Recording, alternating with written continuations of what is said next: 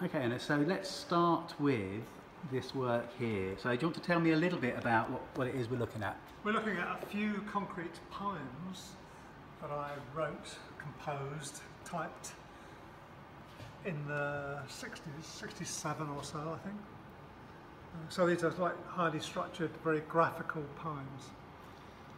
And already I can start to see some of the influences maybe that appeared later on. We've got a sort of Mondrian style. Obviously, I was interested in Piet Mondrian at the Mm-hmm. time. Okay. And these were these were literally typed up on a Literally typewriter. typed on a typewriter. You can't really do them on a computer Yeah. because they involve over typing and various kind of things that you can only do with a physical. So we're, yeah, we're, so we're starting with work from what you say, 1967? Seven, I think. Yeah, okay. Well, let's wander over here. And this piece, which... So this is a piece called 19, Mhm. which I made between 1968 and 1969. It was made when I had decided to stop making works like each of these squares, which were kind of abstracted from reality in various ways, landscape and so on. Um, and I decided to make a sort of summing up work of what I had been doing in the previous years. Uh, the interesting thing about it is that having made 20 pieces, I then tried to arrange them in a single work, and I couldn't do it to my satisfaction. And what I worked out was that I could write a computer program and write into the computer program the rules that I wanted to be followed in the arrangement, what I did want next to one another, what I didn't want near to one another, and things like that, and have the computer program run and work out the arrangement. This I did using the one computer that Leicester Polytechnic had at the time. Uh, in fact, I think it was called uh, Leicester College of Technology then, before Leicester Polytechnic. Uh, the computer would have fitted fairly easily into this gallery, but it was that kind of science. And so this piece is arranged by computer, Yes. yeah? And in terms of rules, what is it arranging and how is it arranging It's them? arranging um, proximity issues, really. So the rules that I wanted, it was a, the, like the question was, I wanted certain rules to be followed. Like this should be on the same row or on a different row. This should be on a different column. This should not be next to one another and things like this.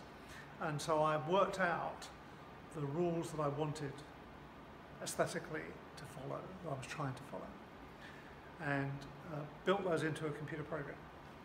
The actual truth of the story, to be honest about it, is that the three hours that I was allowed to use this one computer uh, uh, was I used up, and the computer program ran very well. But because I was sensible, I got it to print out near solutions. And in fact, after three hours, it had not found the solution. But it, what, what it did find was a solution which was almost correct. And I could see how by one little manoeuvre I could turn that into a complete. So a bit of a collaboration solution. between so, you and the computer. so in a way, Yeah. this was the first of my collaborations between Yeah. computer and human. So each tile is, is coded in some way. yes, exactly. And then the algorithm sorts the components, places the components according to an aesthetic principle or rule that Yeah, you've come up with? yeah, yeah. yeah. So, uh, and the realization from this was twofold, really. One was that you could use a computer to handle these rules, and the other was how important these rules were underlying my art. Mm. And so I became interested not just in the use of the computer, but in the use of the rules, hmm which got me concerned with what was known at the time, anyway, as systems art. Yeah. And so we're saying 68, 69 for Yeah. this piece? Okay. Yes. So very early use of computers in the production of the work. And then if we move on to the Well, do you pieces. want to come back to oh, yes. Okay. pieces. Because then I think the next things were where I got involved in thinking about the computer for interaction. Mm. And um, well, there were various things that are not in the exhibition, but here's one that is in the exhibition, which is something called Communications Game, which was a very kind of uh, low bandwidth way in which three people, or in other versions of it, six people, could kind of communicate with one another by flicking switches and changing lights. Not knowing exactly what was going on, but somehow finding out by experimenting amongst themselves a way of communicating. What I found when this was mounted in this particular exhibition was that some grown-up groups trying to use it found it were quite found it quite difficult. But some kids, I'm talking around the age of six or seven, really got involved in it and handled it quite well and managed to communicate with one another quite well. So it's quite interesting the openness of the thinking of the children somehow. Yeah. And were they communicate? Were they talking through the screens to each other? Well, they were shouting at one another. Yeah. So I know, I know a little bit about the, the internal operation of this piece, and it's three systems based on logic tables. So there's no randomness, and there's no um, complexity within the logic. The logic is is fixed, if you like. Yeah. The complexity emerges from the fact that there are three systems, and they're, they're mixed up, if you like. So the system is completely deterministic, but if you're using it, you get the sense that maybe there's something going on and you're trying to find the rules. Is it deterministic? Is it random? Is it, um, are there other things going on? And that's a very good uh, summary. And if you look, look at the rest of my work and the rest of my use of interaction from that day to today, what you've just said still applies. Mm. So I don't use randomness, it's all deterministic. But uh, basically, the interactive systems are open systems. So the unexpected events occur because of things happening in the world rather than because of the use of random numbers. Yes, that's which is very good. and at, at about the same time, I made this piece, which is interactive. It's rearrangeable, right? But it, it's not, it's not using computers or anything, but I can change it by changing these pieces, moving them around. It's called jigsaw, and it's kind of like a jigsaw puzzle, but alternatively you could think of it as a rearrangeable artwork. Mm -hmm. So that uh, if you have it on your dining room table, each day you could make it different. So within this, there, there are clear boundaries to what is possible. Yes. But within those, those boundaries, there's a huge amount of variation. Yes. And it's up to you as the the viewer or interactor to explore that variation, those combinations? Exactly. So part of the point of this, as with all interactive work really, is that part of the creative process is handed over to the participant. Mm. So the artist sets up the system, if you like, and leaves some of the creative joy to the audience, to the participant. Yeah, and you have set up the boundaries. There, you know, yeah, you can't make it all yellow because there isn't en enough to make exactly. it all yellow and that sort of thing. Exactly. Yeah, yeah. So again, it's, it's systematized, you might say. Mm-hmm. Yeah. And are we looking at sort of similar time period here? Yeah, this was done in 1970. 1970, yeah. And who would you say, in, well, in art, in art terms, who would you say are the influences? Who are you looking at maybe at this time? Well, two things really. Of course, I was looking at the constructivist tradition artists through to De Stijl, Bauhaus, so Malevich, Mondrian, Max Bill, all these people. Uh, but also I was looking at people who were concerned with interaction, the people doing uh, happenings mm. and so on. Mm -hmm. okay. And this will be in fact, the work we've looked at so far is around about the time of cybernetic serendipity. Yes, indeed. So that was also, yes, indeed. So that was also influential in the sense of uh, making it okay, at least in a funny context, mm. um, to do all this strange stuff using computers, new technology and whatnot. Yeah, and you went to that exhibition? Of course, yes I did. Yeah. okay, where should we on the next? Shall we carry we on? Go, carry on back yeah. where we were. Yeah because I think it's then interesting to see that what I did here is this is in the 70s, and I was making paintings, these are light reliefs, yeah. using sprayed cellulose. Um, without going into grim detail about them, the point is that they, they are organised in two respects. One is that they're using geometrical structures to say what goes where, where the yellow is, and where a square is, and whatever. And secondly, I was determining process. So, like, in what order things should be done. So that I was constraining my art by systematizing it geometrically and also systematizing the process that I used in making it. Which sounds very restrictive, but it was restrictive in a way that gave me enormous freedom. Because the blank canvas with 24 pots of paint and 50 brushes is something which doesn't offer you freedom. It offers you almost like a paralysis of not knowing what to do. Whereas the structures that I used here gave me constrained situations in which I could make really clear, open, but free decisions. So just in terms of relationship between within the image and between the images, there are, there are clear patterns and connections. Yes. And so at this point, you're now not just thinking about the individual artwork, but you're thinking about relationships between collections of artworks. Exactly, yeah. So you could say there are series. Mm. That's how I was getting into series. And so I like these drawings from the same period. Um, these are drawing drawn by hand, but could, in principle, have been drawn by a computer, you might say. Uh, except that, as you can see, they're not perfect in this way that a computer would do it.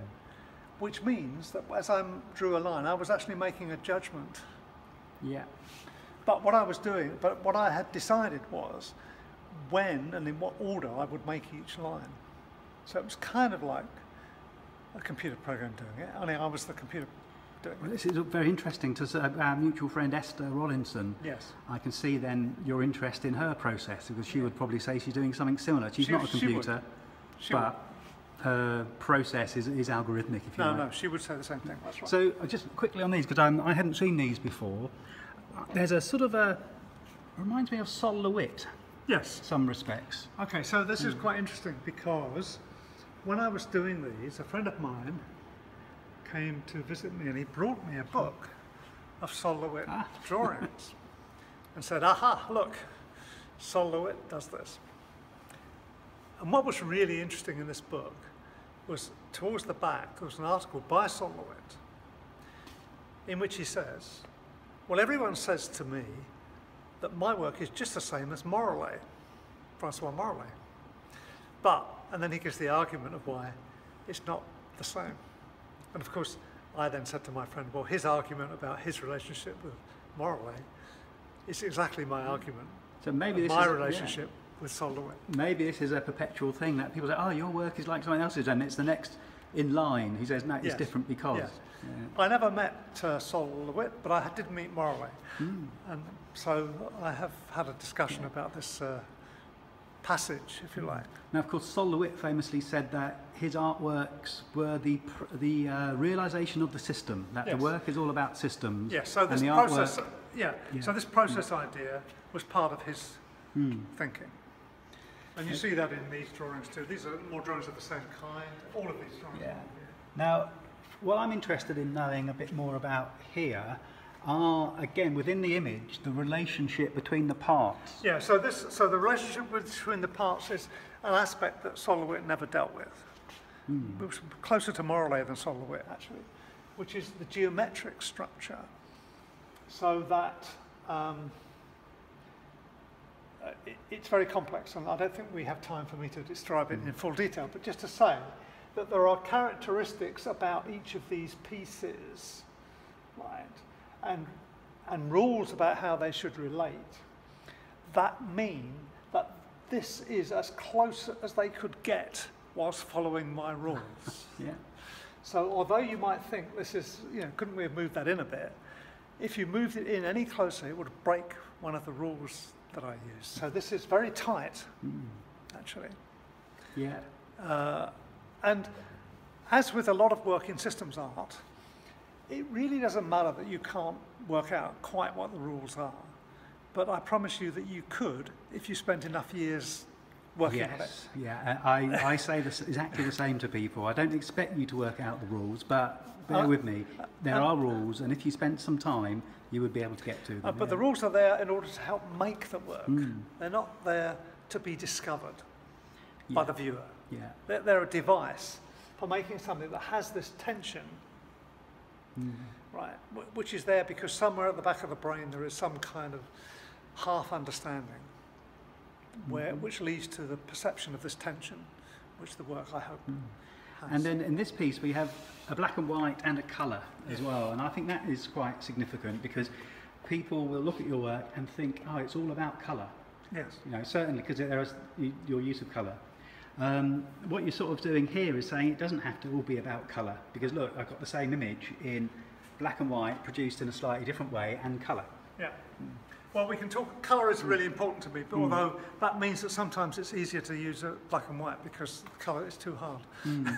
But we can talk about colour a bit later on because Mhm. I cracked a few things with colour later that are not apparent here. Mm. Um, These are similar. yeah. Now this to me is quite an iconic piece as well. Um, Well, these, if you look at these two paintings together, if you can step back and get them both. mm, Yeah, um, the, the, the interesting thing about these two paintings, from a structural point of view, rather than an aesthetic point of view, is that actually they, they use pretty much the same sets of rules, but one is the dual of the other. The dual means you turn the rule round. ah yes. So instead of so uh, so one rule might be everyone should stand on their head, and the dual of that will be everyone must stand on their feet. Right. hmm Okay. So uh, without going into the, what the rules actually are here, uh, the fact is that one is the kind of inverse of the other in, at that deep level of the structure. hmm So so the two paintings. So this one, of course, everything is very close and touching. Yeah. Whereas this one, nothing touches. So that might, that maybe is enough to tell you one of those things. Yeah. so one of the rules is it must, additive they must touch and, and subtractive touch. maybe going on in a sense. But again, in this one, the pieces are as close together as they can be, like in those drawings, whilst following these Mhm. rules. But these paintings are the same as the drawings in the sense that there is this geometric structure and there's a process structure about how I made it. Mhm. Um, and then there are some more paintings here, there are four paintings here, which are similar to those. And you can see they, they're different, but they're using colour in different ways. And here you begin to see that I'm modulating the colour more subtly and more carefully. You're getting closer to what people might think of as your palette, really. Yes. Yeah. So this is like the beginning of me doing that. And then um, So actually, just a little bit on these. When were these being made? These would have been in the 70s, later, Yeah. slightly later in the 70s. And did you start thinking about them potentially being dynamic works about this time? Uh, well, series, as you can Yeah. see. Uh, and yes, I was thinking about them being dynamic. And perhaps to understand that, we might go around the corner and look at when I Hmm. started the time-based work. Mhm. So I'm not, I'll just lead you around a little bit Mm. because here uh, there are two works being shown here which were done in the 80s. Um, and this is when, of course, by now we had um, PCs, Macintoshes and things, right? In the 70s we didn't. And having personal computers made all kinds of things possible, more accessible. So when I was doing that series stuff that we looked at earlier in the 70s, for example, even the 60s, uh, whilst I could have made time-based work, the effort would have been enormous. And I have friends who did it. I guess you would be making animations. Yeah, Every and- frame and- would have been. And what Made. people, the people who did, um, made like a three-minute animation, and they did it. It only took them three months Yeah. or something, right? Uh, well, I didn't really. I could have done that, and I had the equipment and everything, and I had the ability to do it, but I chose not to. But when we had these machines, I could do it in real time. and also, at the same time, the other important technological advance was videotape. Yes, yeah, there's a definite imprint of VHS within this. Well, this was originally, um, uh, it wasn't VHS, it Ah. was some, I don't know, I forget what it was. It was some another, Another more, tape. more fancy version. U-matic or something, whatever Some- those Yeah, it was U-matic, that's right. Yeah. Um, uh, and so basically what I did is I recorded directly from the computer onto U-matic and made So were you pointing a camera at the computer No, no, screen? no, Oh, okay. no. I took, Scan took the data. No, no, Yeah. no. I, I had technological. Mm. So I took the data, uh, RGB Mm. data, out of the computer, and had a way of converting that into technological way of converting Yeah. it and putting it onto videotape. Mm. So I was now making time-based works. So now, instead of a series of works, it was time-based. Mm. But that's not just having a series of works like this one and then this one and then this one. Because once you introduce time, then there's all the issues around like that we're used to in music. Pace, going Mm. faster, slower, and so on and so forth. Right. So it introduced a whole new world. Which is why originally I made works with very simple images. Because the complexity of time meant So I- it's a rhythm, really, is what you see in these. uh, Yeah. exactly. And also in these early ones, I didn't use colour because at, to start with, the screens were so unreliable, colour-wise, that I never knew what it would look like. So the only reliable thing to do was use black and white. But then I started to use colour, and if we go here, I'll show you one that I made maybe 10 years later.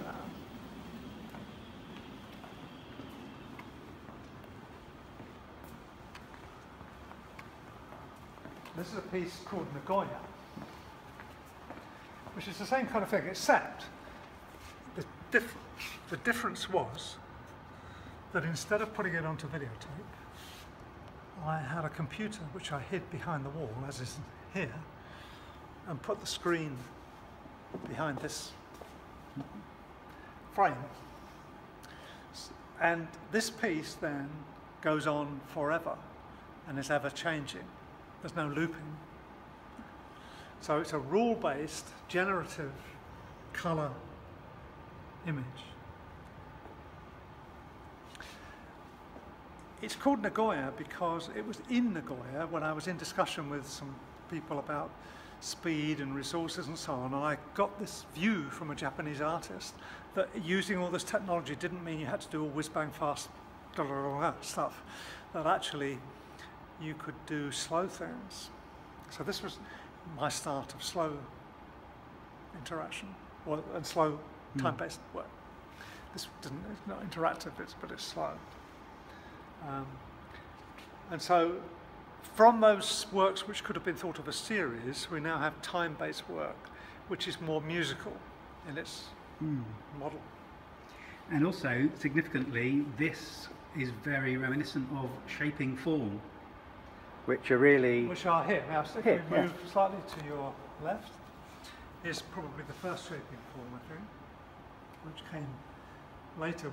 And these pieces are really the same, but I've added interaction. The only difference is that the rules that I use to generate the thing, infinitely changing, now can be changed according to the analysis of images. So that uh, there's a camera, in this case there's a camera just on the screen here. Um, and that camera, is data is being fed into a computer and it's doing image analysis on stuff. And that, and the result of what it's seeing is being used to modify the rules. So now the work is changing over long periods of time. So the shaping form pieces are not just interactive as some of the early stuff I did, not in this exhibition, uh, were. Uh, it's interactive in the sense that the work is influenced by what it sees, in quotes now, and it will be different tomorrow because of what it sees today. So it's both generative and responsive, Yes. um, and there's an interplay between those two elements. Yes, and Yeah. so here we have a few of these of different ages. And now there's and another. When are we looking at? we're now looking in the 2000s. Okay, in the 2000s now. Yeah. But there's another thing that by now has happened that I wanted to mention, which is colour. because what I had discovered by the time I did Nagoya in the in the 90s, I had discovered that that I could treat color differently and systematically by um, representing it in the computer by well, there are various ways of doing it, but for example, hue, saturation, and lightness is one, where you have a representation in the computer which matches perception, not RGB, Mm. which is completely useless in this respect Well, it's very good for computers, but not very good for humans. for humans. But it, so now, what I did from the start, once I started to use colour in this way, I started to use uh, human-oriented representations, and you know very well the work that we were involved in uh, at Loughborough University, that Steve Scrivener led, which was very helpful in terms of un- my understanding of the possibilities here. And what this meant was that whereas earlier I was using systems to organise like where the lines were and what shapes there were, I could now use these systems to organise the colours. So now the colours, instead of being like um, just like, oh, I think I'll have a blue here and a red there, were subtly selected and could be modified. So I could say, well, I want these two colours next to one another, but I want to just to make, for example, the saturation levels exactly the same, Mm. or to make this one slightly more saturated or less or something. And so, and over time, the rules could change one or other of those characteristics. So the work could, for example, become slowly more saturated, something like that.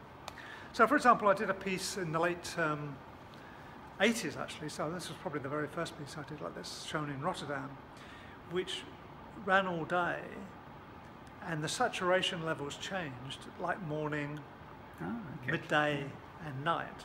Right, so the colours changed. And The, it it was generative and changing all the time, like all the other stuff, but the saturation levels shifted to kind of match the time of day. And when was that piece? That was 89. 89. Okay. And So- um, yeah, Yeah, so here are some of these pieces. Think another thing that, of course, jumps out about these is that at a time when people would often try and show off that they were using the latest, fanciest computer and screen, you were making these look as close to artworks as possible. to hide all that Yeah. stuff. Yes. And that was important to me because I wanted to concentrate on the colour and the form and the time Mm. and not on the technology. Maybe if we move along just to here, uh, then a more recent shaping Mm. form is like this one, where I'm now, in fact, on the film the colours are getting so subtle Yeah. that it may hardly show up. I can, yeah, so we can now. But what you have here is really, compared to how you started using screens, something that looks, well, it looks like it could be a painted image from the front. Yes. Yeah. And this is doing all the things that Mm. we talked about. And at the same time as doing these, I'm making paintings. There's four of them here. So here we have a, a back They're- again to a, a sequence. Yeah. Um, so that if you like, the, the shaping forms are informing Mm. the paintings. Yeah. But what I'm actually doing is printing screen images and then looking very carefully at the colours and sometimes I'm using acrylic paints to bring out a Mm. colour a bit or soften it down or something. Um, I think maybe let's have a look at the one just round the corner here. Yeah. Oh, there's one here. Oh yeah. In fact, this was an earlier one. And again, how are these produced? Yeah, these are. These were basically screen grabs, Mm. printed and then painted. Yeah. And you are painting them. I'm painting. Yeah. But then the ones you were thinking of here, these Mm. are just printed directly so onto aluminium. And what I think happened to enable me to do these is that by printing onto canvas and modifying, I was really learning about the colour uh, and going back into the programs and modifying how the programs worked. Mm. Right? So that after a while, a few of these iterations, I was doing less painting Mm. because the colours were coming out more as I really wanted until I got these ones, Yeah. which are just directly printed and not modified by hand at all. And I think these, when, when did you produce These these? this year. This year. And this, to me, it, we're so close now to having the potential merger of the colour fidelity of the digital screen and the, Yes. the quality of the print. Yes. So I guess the next logical step would be to have great big images like this that are actually digital screens with no visible computer, lovely reflective colours. Um, and in fact, the, the screen that we have over here is manufactured as a block for a video wall. Hmm. So one possibility is to build a video wall of those. Yeah. Of course, you get a small black line in it, which could be seen to maybe be like this line Yeah. here. So it's maybe could be acceptable, but probably in the not too distant future that will disappear anyway. Yeah, and we, these will be digital screens, or Yeah. they may be. A, Exactly. we may not even actually have a And, distinction and between what I've always and tried to do is I've always tried to do my work building towards the future. So I was trying to make interactive art when we had computers that had to fit in rooms like this, and it was ridiculous, mm. really. But you know, we could get the spirit of it and the concept of it, and I still do the same. And I'm still kind of waiting for the mm. technology. Yeah. Great. I think that is a pretty good look around. Thank you very much. Thank you.